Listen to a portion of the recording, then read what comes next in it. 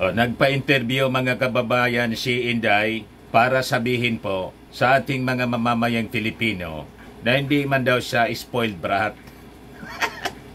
Yan na niya, Mr. Maravillas, ang masasabi mo sa naging statement ni Inday sa interview.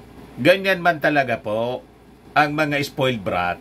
Hindi man nila alam na spoiled brat sila. Normal po yun sa kanila. Tingin nila, hindi sila spoiled. Pero ang katotohanan, spoiled brat. Parang yung mga sinungaling po. Ang mga sinungaling, dahil nasanay na sila sa pagsisinungaling, paniwala nila, hindi sila sinungaling. Ganon din po sa spoiled brat. Mga kababayan, nakasanayan na po. Yung mga masasamang tao, ganon din po.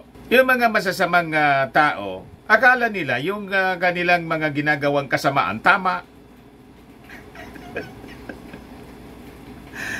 Ganun lang yan po. Eh, wag na tayong magtaka kung uh, bakit sabi ni Inday sa kanyang interview.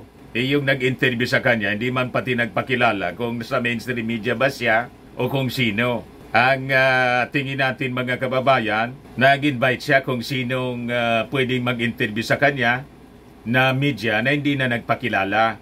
Basta interviewin mo anya ko. Pero anya, yung uh, tanong dapat galing sa akin. Alam ba ninyo na may mga ganon? May prepared questions na. Nire-review mo na ano niya, pa-interviewan niya ako sa iyo, pero ito yung dapat na itanong mo lang sa akin. Walang sobra, walang kulang. Ayaw na ng mga questions na, yung mga hard questions pa, dapat na niya, friendly lang. Kasi nga po, parte ng uh, mga propaganda ng spoiled brat. ito ngayon mga kababayan ng uh, balita. Yan o, sabi dito sa Philippine Star, Sara Duterte, Christ Foul versus Spoiled Brat. Tag. Galit siya, mga kababayan. Palibasa, spoiled brat. pag spoiled brat po, galit pag pinagsabihan. Yan ang spoiled po eh. Natura ng isang spoiled brat. Ayaw niya na may nagkukontra sa kanya. Yan po, sabi dito sa research. How does a spoiled person behave? Sabi diyan, refusing to share their things with, with others. Makasarili. Dissatisfaction with what they have in always wanting more. Rude in impolite behavior. Attention seeking and selfish behavior. Sak, swak na swak po mga kababayan sa pag-ugali ni Inday. Tinanggalan lang po ng confidential funds. Galit na galit na nagtantrum agad. Tinatanong na lang mga kababayan kung paano ginastos yung confidential funds, naging combative agad.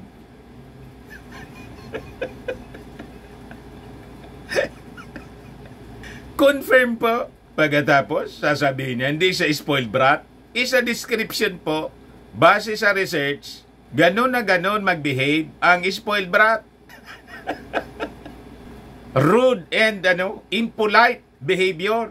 Madaling sabi sa Tagalog, walang modo.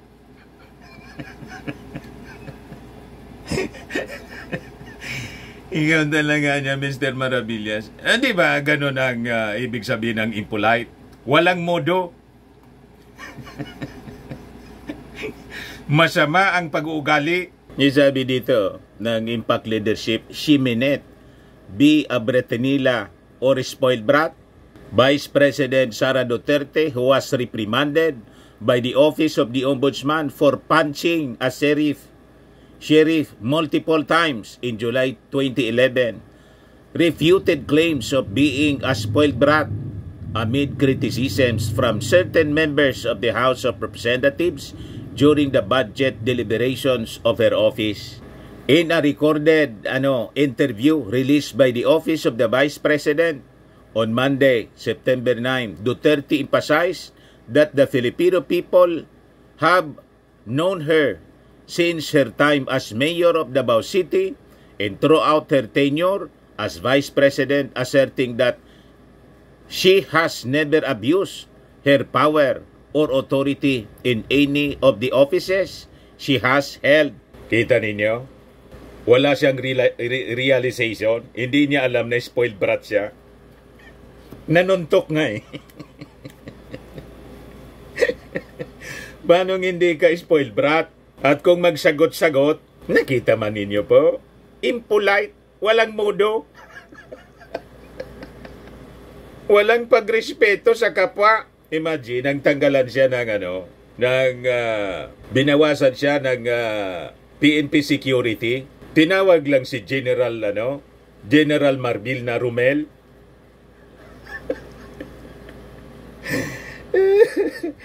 Kasi vice president siya. Impolite.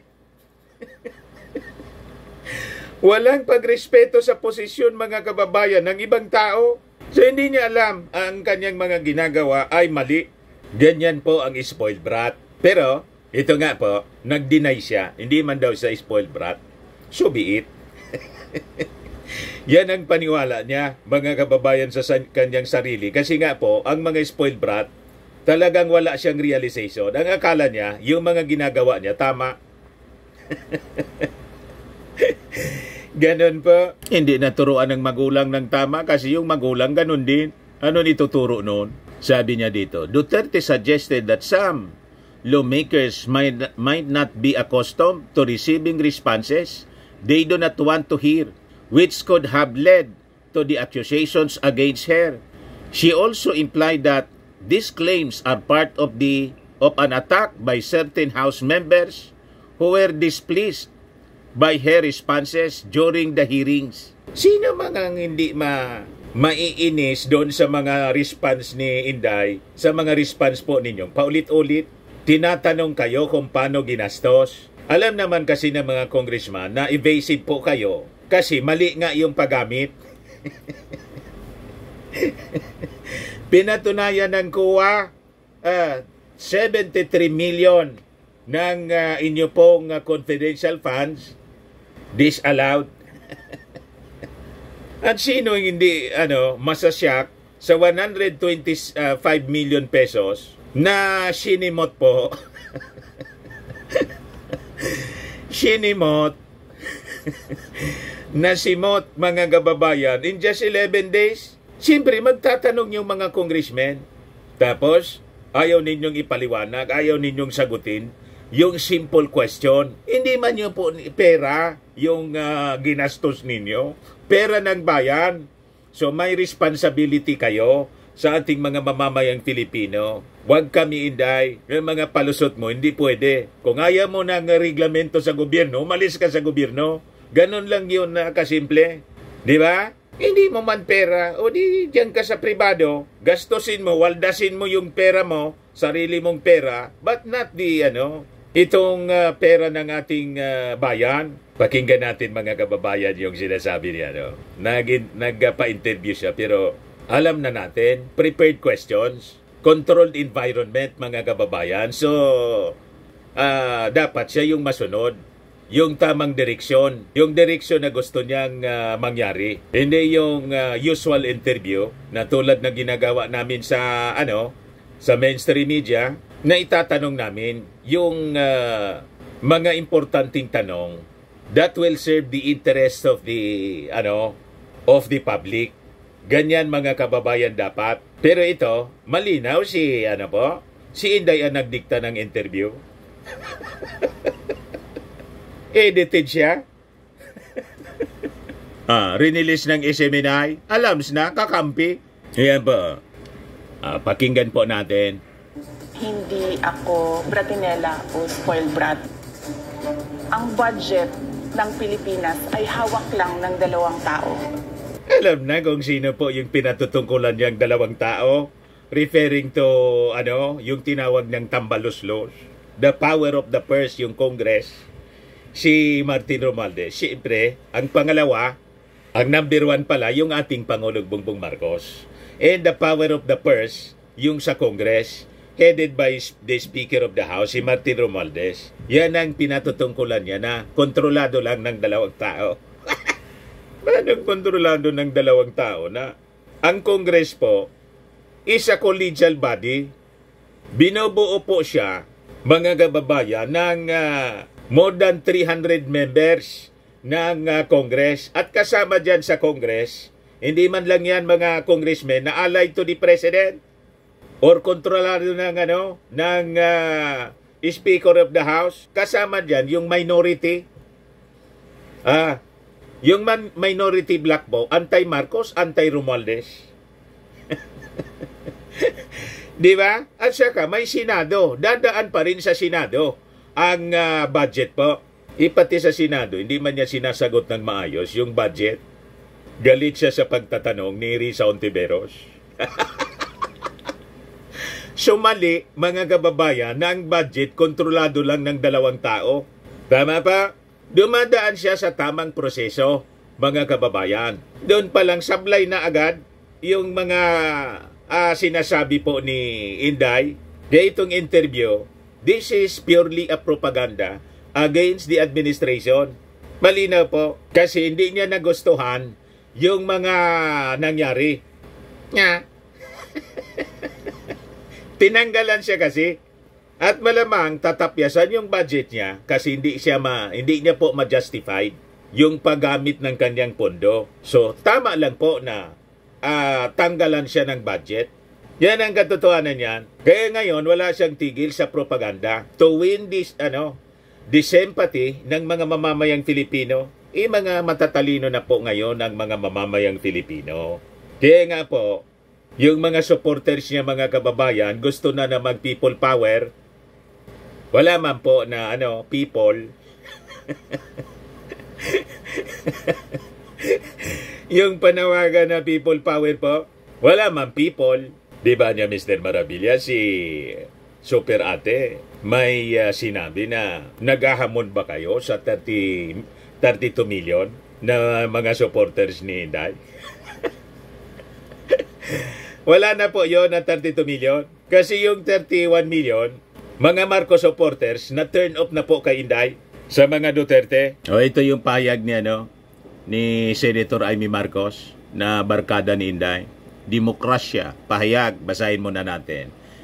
Mga kababayan, before natin uh, i-play yung interview kay Inday. Sa mga nasa kongreso, nagigil na magsampa ng impeachment case laban kay BP Inday Sara, magsilbing paalala ito na ang gusto ninyong paglaruan ay ang demokrasya ang mga hakbang na ito ay kabastusan sa mga pasya ng bayan at resulta ng eleksyon, isang panghahamak sa boses at karapatan ng sambayanan sa pagpipili uh, ng kanilang lider. Alalahanin ninyo ang tagumpay na naitala ng kanyang uh, boto ay ang pinakang malaki sa kasaysayan. Naghamon ba kayo sa 32 milyon? o naghanap kayo ng gulo upang hatiin ang bayan na may napakaraming problema sa kasalukuyan. Senator Amy Marcos, September 9, 2024. Senator Amy, dumistansya ka na kay Inday kasi baka ka madamay. Pero matanda ka na, mas matanda ka pa sa akin. Kung yan ang choice mo, to support the Dutertes all the way, nasa sayo yan. Pero malamang baka wag naman sana sa 2025 matalo po kayo. Pag natalo po kayo, that's a, you know, a painful lesson para po sa inyo. Hindi kasi kayo nakinig sa mga Marcos loyalist. Di ba? Ganun lang yan. Ah, ito, sige panawagan nila. 32 million, handa na ba kayo? Wala man po na sumama sa kanila. Wala na po yung 32 million. Mayroon yung 31 million na supporters ng ating Pangulong Bongbong na parte yung 32 million. Kaya lang, yung 31 million ng, 31, ng 32 million ni Inday, nag-withdraw na ng support. Kaya nga po, wala nga pumupunta sa inyong panawagan ng people power sa uh, Liwasang Bonifacio, saka sa Idsas Rhyme. Anando doon po, mga kaluluwa. At mga langaw. Sige po, nila pakalat ng fake news. Oh. Tingnan ninyo ito. Change of leadership. May page na sila na gustong uh, magkaroon ng change of leadership. Breaking, 6 hours ago. Unconfirmed yet, credible sources suggest a growing rift uh, within the ranks of the armed forces of the Philippines. High-ranking military generals are said to be uh, withdrawing their loyalty to Commander-in-Chief in President Ferdinand Marcos Jr. in what appears to be a major blow to the administration. Sources claim the Defense Secretary, unable to maintain control, may have been forced to resign. As this potential fracture within the military unfolds, the political stakes are rising. Stay alert for further developments. Yan o. BBM resign. Anong grupo ito? Eh, mga page nila mga kababayan. Malinaw. Change of leadership. Si Pusit po. Gumawa na sila ng mga page mga kababayan sa Facebook para magpakalat po ng mga destabilization ano mga fake news to destabilize the uh, Marcos administration. Iwala mang makumbinsi sila. o ngayon, ito na si, si Inday, balikan natin yung uh, interview na sabi nga natin, yung mga tanong sa kanya, malamang siya man lang po yung gumawa o yung handler niya. Ayan po, excited na po na to make over. Ganang araw po, Madam Vice President. Una sa lahat, nagpapasalamat po kami sa pagkakataon na binigyan niyo po sa amin at uh, makapagtanong po sa inyo. Pero bago po ang lahat, ma'am, ano po ba ang dahilan at nabigyan niyo po kami ng pagkakataon na magpaunlak po kayo ng interview? Maraming salamat sa pagkakataon na ibinigay sa akin ngayong araw na ito.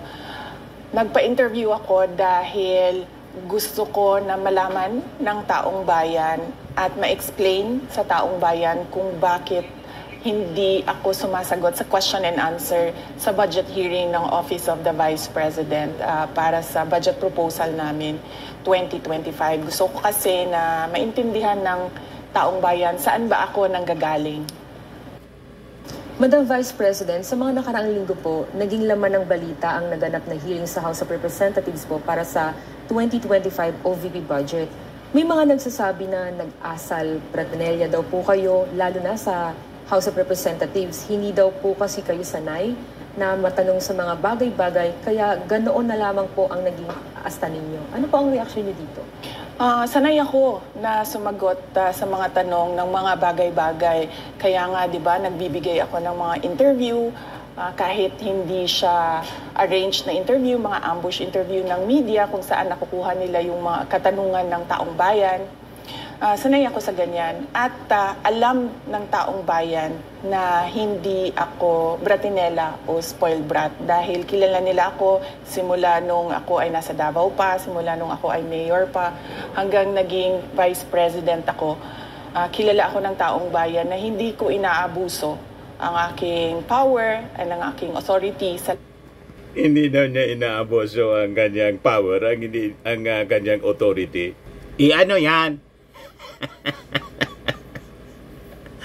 Sara Duterte punches court sheriff amid demolition operation in Davao City. Ah, ng pagkasinungaling mga kababayan. Anyway, ituloy natin ang sinasabi niya. At ng mga opisina na nahawakan ko. Um, testigo ko ang buong bayan na hindi ako isang uh, spoiled brat. In fact, nung ako ay lumalaki, hindi naman ang mga kaibigan ko, hindi naman sila galing sa political na pamilya, sa mga mayayaman na pamilya, sa mga powerful na pamilya. Sila ay mga ordinaryong lamang at uh, yun ang kinalakihan ko. Uh, isang yung uh, environment ng isang ordinaryong citizen ng So yan po ang gustong i-project nila sa ating mga mamamayang Filipino na galing siya sa ordinary ano family, alam na natin yung motibo po to capture the masses.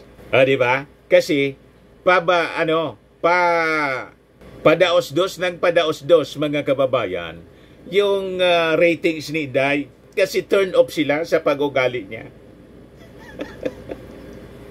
Tama po? Kaya itong pagpa-interview ni Inday, malinaw po na damage control. eh, priskong prisko pa sa isipan ng ating mga mamamayang Pilipino. Yung kanyang mga pinagagawa, yung pang... eh, ang dali pong i-research. Pagkatapos, yung kanyang ginawa as a Vice President, yung walang tigil niyang pagtatantrums. At yung latest po, yung kanyang behavior during the hearing ng Congress sa kanyang budget, introduction pa lang, mga kababayan, opening statement pa lang uh, ni Inday, may mga parinig na, may mga pasir, pasaring na po sa mga congressmen, combative. But anyway, ituloy natin yung kanyang sinasabi, mga kababayan dito sa interview. Sa palagay ko, hindi lang sanay ang mga ang iilan na mga miyembro ng House of Representatives pa. na hindi nila makuha yung gusto nila at gusto nilang marinig na sagot. At hindi sanay yung mga iilan na mga representatives natin na sinasagot sila uh, sa kanilang uh, mga patutsada. Binaliktad pa. Eh, siya yung may patutsada? Parang atake din nila na parang, oh, bratinela yan kahit na sumagot naman ako, hindi nga lang sa gusto nila. Kaugnay dyan, ano, Madam Vice President, dito sa budget hearing, naniniwala po ba kayo na may kapangyarihan talaga ang Kongreso na busisiin ang budget po ng bawat ahensya ng gobyerno? Siyempre, oo. Nakalagay yan sa ating saligang batas. Yun naman na pala. Kongreso natin ang merong power of the purse. Kaya nga, di ba, merong mga budget hearings at uh, merong pagpasa ng budget mula sa House of Representatives at sa Senado natin, sa Kongreso natin. Kinikilala natin yan. Kaya nga, di ba, pumunta tayo doon sa Senate hearing, pumunta tayo doon sa House of Representatives hearing dahil nagpresenta tayo ng budget. Ang ginawa ko lang ay sinabi ko, i-forgo namin yung question and answer na parte ng budget. Alam mo ng mga congressmen, Inday, kung bakit gusto mong ano, i-forgo na yung uh, questioning. Kasi gusto mong pagtakpan kung paano mo ginastos yung 125 uh, million pesos na confidential funds na ang 73 million disallowed. Hindi man po bobo yung mga congressmen para mapaikot po ninyo. Tama po? Kaya yun, paulit-ulit yung uh, tanong po ninyo. Uh, sagot po ninyo sa tanong kasi ayaw nga po ninyong matanong, maungkat hindi man po pwede kasi may power of the purse nga po ang Congress. Siyempre, itatanong nila paano mo ginastos kasi pera ng bayan yan before nilang i-approve yung susunod na budget mo for 2025. Huwag kami, Inday. Alam namin yung iyong ano, uh, strategy. Pero kaugnay po dyan, Madam Vice President, hindi po ba dapat malaman din ng taong bayan para sa pondo ng OVP? At saan po gagamitin itong uh, panukala po for 2025? Yes. Napakalaga sa akin na malaman ng taong bayan ang Office of the Vice President budget proposal.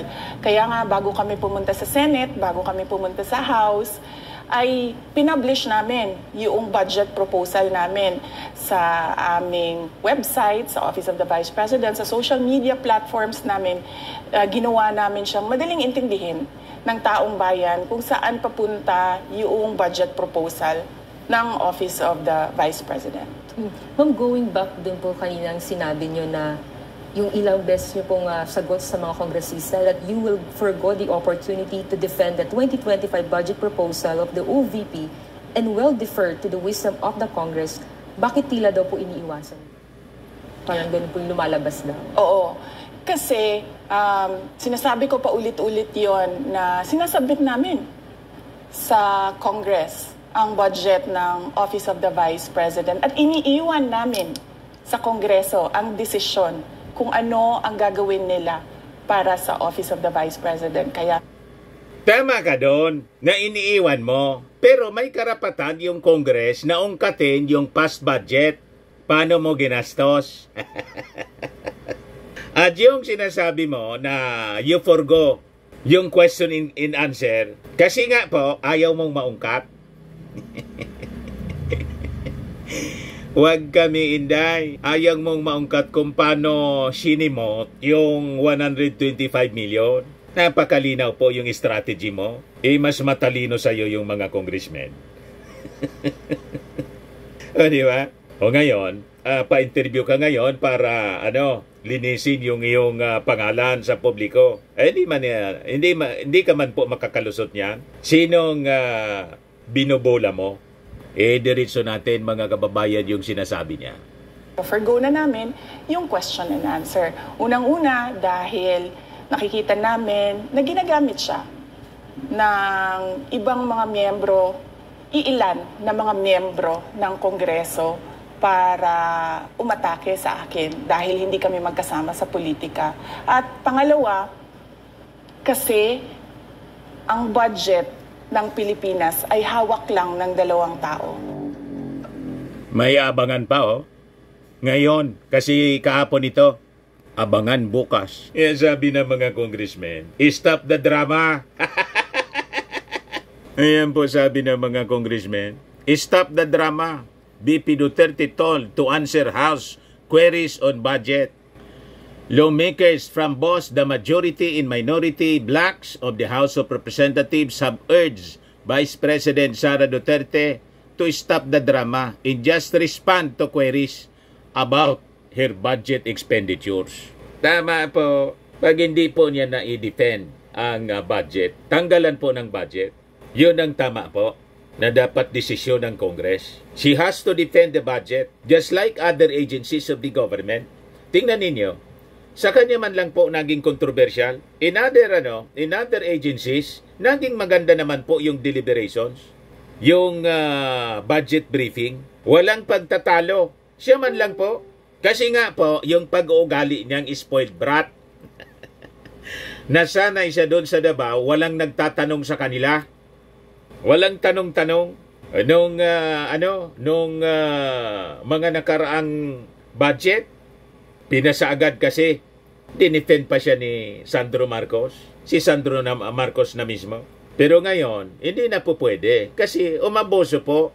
Imagine, 11 days, sinimot po 125 million at malinaw malin, na malinaw na disallowed mga kababayan. 73 million disallowed. Kaya nga po, malamang ito yung maging basis po ng impeachment sa kanya. Yan ang pinag-aaralan na po ng ano ng uh, Congress sa members of Congress. Yes, sabi po ni AK uh, Teachers Party List Representative Fra- Fan- Franz Castro that it seems that the Vice President is resorting to squid tactics. Again, may sapositan niya. Pag nasosokol na, biglang magbubuga ng ano, tinta. may saposit. Mula sa pagiging agila, naging luro, ngayon mas tumindi, naging pusit. As she supposedly diverts attention from her office use of 125 million confidential funds in uh, 2022 in just 11 days. Nagsasaposit na naman niya siya para i-cover up yung kanyang mga maling uh, ginawa. Dapat niya sa House of Representatives na siya nagpaliwanag kaysa sa isang video na siya, siya din ang gumawa. Mas maganda na humarap siya bukas sa komite at doon magpaliwanag. So ngayon pala po yung ano, ipagpapatuloy ngayon yung uh, hearing ng budget ni Inday. Kaya pala siya nagpa-interview kahapon. At may kuwan po ngayon. May continuation. Sabi naman po ni House Deputy Majority Leader and Tingog Party List Representative Jude Asidre, yung Vice President niya as a public official must prioritize transparency and accountability. He questioned why Duterte chose to issue statements outside the official uh, process instead of addressing the lawmakers' queries directly. Tama. Calling on her to attend the scheduled hearing and participate fully in the discussion. Asidre stressed that the budget hearing are meant to ensure responsible allocation of public funds and are not an attack on the OBP. Mali po yung mga sinasabi ni Inday na ginagamit itong uh, Congress hearing sa kanyang budget para siya siraan. Kumbaga po, may makalkal na kasiraan, hindi dahil siniraan siya ng Congress. Walang intensyon yung Congress na siraan siya. Kung di, kasi gumawa siya ng mali, ng kasiraan niya. Tama ba? Yan lagi ang sinasabi ng mga Duterte. Sinisiraan daw. Eh, sila yung uh, ano, magaling sa paninira. At yung mga vloggers nila, tinatawag yung ating Pangulo, walang tigil na bangag, bangag, bangag, pulburon, pulburon. Balik na naman daw sa pulburon issue. At yung ano, hair follicle nila. Kasi nahuli, nahuli na po yung kanilang patron na si Pacquiao. Kaya balik sa hair follicle daw sila. Wala nang maniwala po sa inyo kasi kayo mga vloggers ng uh, nausog dahil sa pagkauli ni Pacquiao napatunayan na lahat kayo sinungaling. o di ba sinasabi ninyo wala doon sa compound? O doon nahuli mismo na nasukol ng ating mga authorities. Kaya sinasabi nila, hindi niya nasa bundok. What? Sinong maniwala sa inyo? Kung nasa bundok ng uh, Cotabato si Pacquiao, ano pang uh, rason na susuko siya? Nakatakas na? Kung talagang susuko siya, nang ilabas yung warrant of arrest mga kababayan sa kanya, pumunta, tama yung sabi ng ating Pangulong Bongbong Marcos, pumunta na sana siya sa ano po, sa police station to surrender himself. Yan ang dapat mamaya, i-ikuan ko po sa inyo. I-replay ko sa inyo yung sabi ng ating Pangulo tungkol kay Pacquiao sa pagkasukol po sa kanya. Kasi hanggang ngayon, sige po ang uh, uh, spread ng uh, kasinungalingan nila, mga propaganda, para siraan po si General Ture. Balik muna tayo dito. Sabi naman po ni House Assistant Majority Leader in Taguig 2nd District Representative Pami Zamora, uh, sabi niya, ito ang yung ano, deliberations ng budget focus on ensuring that public resources are used appropriately, not on personal preferences. She noted that asking difficult questions is part of the lawmaker's duty and that public officials are expected to provide thorough and clear responses in return. Zamora said that dismissing these queries weakens the legislative process and undermines its purpose. Tama po, mga kababayan. Hindi pwede yung uh, sinasabi ni mga palusot ni Inday po. Ipo, ipo-forgo niya yung uh, question and answer para hindi ma hindi po madiscover yung mga kabuktutan mga mala, mali mga kababayan na paggamit uh, ng pondo. Tama ba yun? Yung mga palusot niya po, mga kababayan, sabi naman po ni House Assistant Majority Leader ako Bicol Party List uh, Representative Jill Bungalon, he urged the Vice President to stop viewing the hearing as a personal attack and to recognize it as a part of official responsibilities. He noted that the refusal to provide answers regarding the confidential funds only raises more concerns about the transparency of her office expenditures. Bungalon emphasized that if there were no wrongdoing, Duterte should uh, see the hearing as an opportunity to clarify the OBP's actions and demonstrate accountability. Malinaw po na ayaw niyang sagutin kasi nga po may mga salamangka. Tama ba? Huwag kami inday yan po sabi ng mga magagaling nating congressmen. Sabi ni Asidre, if she claims not to be a spoiled brat, she must prove it by respecting the process and providing the answers we need to evaluate her office budget. Sabi naman ni Zamora, dismissing our queries as patutsada undermines the process and the institution we are all part of. We asked for professionalism So, ibig sabihin, unprofessional si Inday. Sabi naman po ni Jill Bungalon, if she believes she has done no wrong, She should welcome the chance to explain her office actions. Public service requires transparency and humility, especially in handling public funds. Tama! O ngayon, ibigay ko sa inyo yung interview sa ating Pangulong Bongbong Marcos, yung mga palusot ng mga uh, propagandista ni Pacquiao na sa bundok daw nagmula si ano, sumurrender si Pacquiao. Hanggang sa huli, mga kababayan, palibasa, sanay kayo sa pagsisinungaling. Nagsisinungaling pa rin kayo. Eh wala eh. Huling-huli na po ang inyong mga kasinungalingan. O ito po yung interview ng mainstream media as published by Manila Bulletin. That is being asked constantly kagabi. The question that is being asked constantly kagabi pa hanggang ngayon, nag-surrender ba o nahuli? Uh, I think that's a legal question pero ganitong iniisip ko hindi hindi siya magsus hindi siya lilitaw kung hindi namin uh, hinabol ng gusto. Correct. Uh, ang pagkaintindi ko, ang pag-surrender, pag sinabing surrender, I, I don't know, maybe the, the, the legalists can, uh, can uh, explain this. Pero ngunit ang pagkaintindi ko, ang surrender, kapag wanted ka, ang surrender, pupunta ka sa police station. Correct. O sa, ewan ko, sa prosecutor, I don't know kung saan. Uh, sabi, to an official authority, sasabihin, nagsusurrender na ako. Alam Voluntary ko, may, surrender, may court order tawag. na may arrest order na ako, kaya magsusurrender na ako. Hindi ganyan yung nangyari. Ang nangyari, napilitan siyang lumabas dahil malapit na ang pulis sa kanya. Um, Nasukol. To his credit, ang sabi niya, yung mga follower niya magpapakamatay para sa kanya at ayaw niyang mangyari yun. So to his credit, uh, that uh, meron, he, he was still displaying a modicum of leadership to his followers.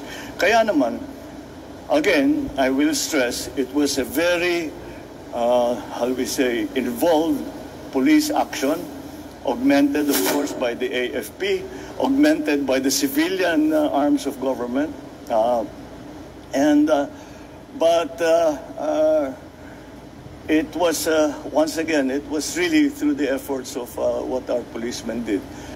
So yan po ang katotohanan po mga kababayan. Huwag kayong naniniwala dito sa mga nausog vloggers. I sangka terbang mga no, santambak na mga sinungaling yan.